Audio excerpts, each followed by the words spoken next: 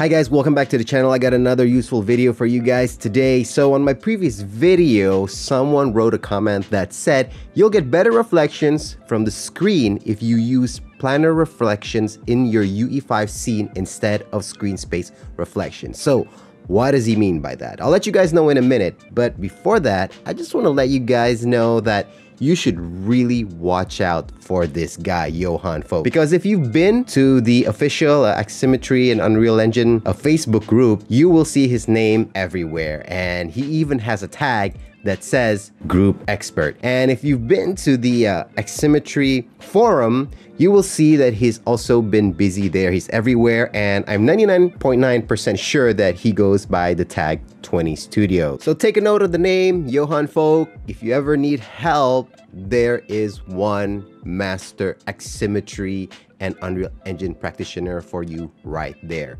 With that said, what does he mean by planar reflections and whatnot? If you're new to Unreal Engine and Aximmetry, you're probably like, what? It's not that complicated. I'm gonna show you guys how to set it up. It's really easy and you won't ever have to worry about having bad reflections ever again in your virtual production.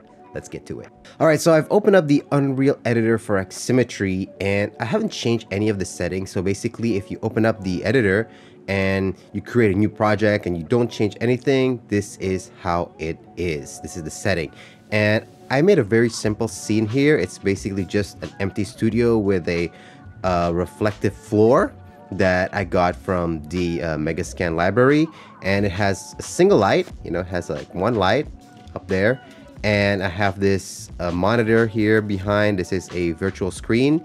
If you guys would like to get it, you could download it from my Patreon. And of course, it has the Aximmetry uh, virtual camera. So it's a very simple setup. And I just want to go to my project settings for a bit under the rendering tab. I just want to note down here that things are set to lumen and lumen by default. So let's cook this and open it up in Aximmetry. All right, so here's the project open in Aximmetry. And as you can see, we have nice reflections of the monitor here behind our talent, but Nora, our talent here, doesn't really have a nice reflection. It's sort of just this like black smudge underneath her. All right, so I'm gonna try and fix that now using a planar reflection plane. So first, I need to go to my project settings and actually turn off the lumen reflection method. So I'm gonna set it to none and I'm going to add a planar reflection. All right, so you can't really see it because I'm in game mode. So if you press G on your keyboard, now you can see the plane. And I'm gonna bring it down so it's just like right above my floor. Okay. So that should do it. And now let's cook it again and open it up again in Aximmetry.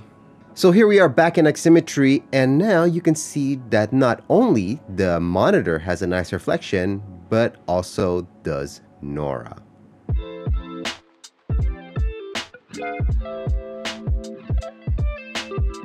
And that's all there is to it. Now, of course, that's just the tip of the iceberg. There are so many settings that you can fiddle around with with the planar reflections itself. So feel free to adjust the settings to your need until you get your desired look. But anyway, I hope it was useful and I'll see you guys in the next video.